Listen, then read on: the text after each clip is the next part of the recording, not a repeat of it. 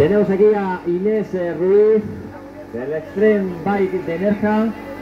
Enhorabuena, primera clasificada. ¿Cómo has encontrado el circuito, Inés?